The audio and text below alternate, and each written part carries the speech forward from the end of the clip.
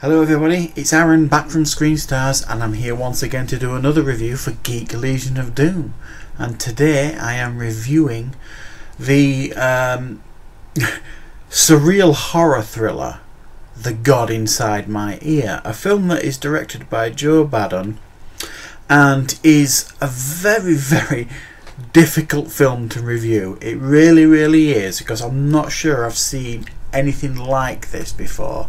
Um, it describes itself as a surreal art house horror thriller. Um, IMDb has it down as a sci-fi. So by by that you can gather that this film is a lot of things um, to a lot of people really, and, and depending on what you see when you watch it, you'll see different things. And this film essentially focuses on um, a young character, a young girl, who uh, right at the beginning of the movie, you see that she breaks up with her boyfriend, and the reason she's breaking up with her boyfriend, I think after three years together, is because he's going a different direction in his life. He's, he's, he's having tattoos of ears on his hands and things, and he seems to have joined some kind of strange cult.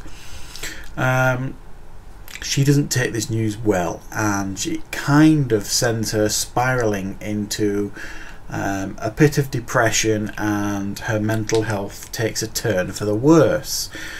But what you don't understand, what you aren't sure when you're watching this movie is is this basically a story of a girl's mental health unraveling in front of you? Or is there something more horrific and sinister going on? Um, and that's the hook of this movie. Because I've got to tell you guys, this film is a bit bloody bonkers. Um, its visual style, it, it almost feels like a cross between a Cronenberg and a, uh, and um, a, a, David Lynch film. It almost feels like a you know a, if if those two guys made a movie and it had a child, this would be it. it. It's got a real unique feel to it. This movie, very psychedelic very art house is a good description. It is very art house, and I could imagine film students sitting down with notebooks and analysing this film for weeks on end in regards to the meaning of some of the visions that she has in this movie and some of the things that happen to her in this movie. What are the meanings behind all of this? But the very core of this movie essentially is, for the most part, is the the mental health of this young girl. Um, unraveling in front of you, and tr- you're trying to determine, and she's trying to determine, is she going mad, um, or is there something else sinister at play here? Because she's seen some pretty nasty things, um, and there's there's things talking to her. She's she's receiving strange phone calls for a start from um, the telemarketing guy. Uh, let's be honest though, I mean the majority of us, if we if we receive a phone call from a sales rep or a telemarketing guy, you know, you immediately hang up. Um, but she doesn't. Certainly not the first time. And then he keeps contacting her. So there's, there's something sinister going on there with this telemarketing guy, constantly phoning her up. Um, she keeps having these weird visions and weird dreams.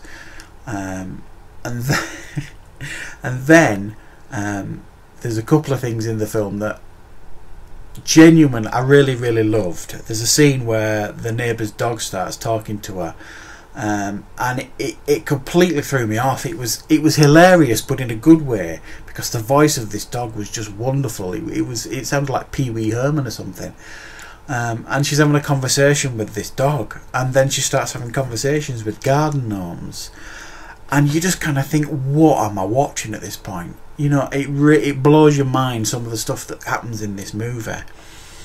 Um, so it's very ambitious in what it's trying to do. This film, I think, ultimately, its ambition kind of kills it to a degree because I think it's a bit over ambitious at times. It kind of over they overwrite this movie and they kind of overthink it because the premise is actually quite simple if you break it all down and strip it all away, all this psychedelic stuff. Um, the premise is actually quite simple.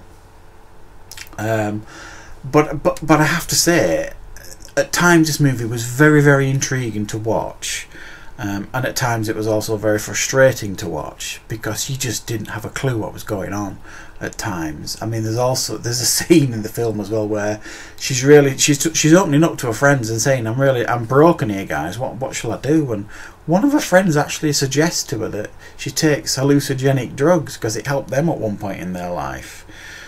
And she agrees. And I'm just thinking the last thing this film needs is, you know, um, the main character taking drugs because she's already having really psychedelic visions and stuff. And it, it takes it to another level then. Um, ultimately, though, I think the ending kind of was a, a, little bit of a letdown for me. It kind of built it up and built it up and built it up, and then the ending kind of just kind of like felt a bit rushed and it felt a bit predictable, um, and it didn't kind of make an awful lot of sense to me the ending because the. It, I, I just don't think it worked the ending personally. The acting that we got on board here, I think for the most part, is pretty decent. Um, you can tell it's fairly low budget. There are a couple of dodgy performances, but um, the main performance, let me see what she called, Linnea Gregg, I think she does a decent job here. I mean, it's almost, I would suggest, an actor's dream, this part, because there's so much interpretation in the part. It's, it's probably a really, really good role for her in, in, in for probably the start of her career, because she has to do some pretty bonkers stuff in this film um, and it probably helped her a lot in regards to her acting process I'm guessing. So yeah guys this is an odd movie. I'm not going to deny it. It's an odd movie. Um, over ambitious some of it works some of it doesn't. Um, pretty psychedelic but I promise you, you won't have seen anything like this for quite some time. And I do applaud them for trying something a bit different and trying um, to be a bit original and creative in what they're giving you on screen. Um, ultimately, I think it kind of falls short, but there is something pretty interesting going on with this movie, guys. So it's a 6 out of 10 for me.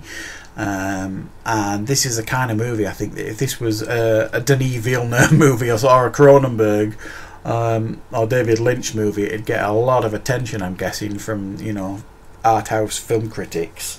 So I do applaud you guys for trying something different. So thanks for watching, everybody.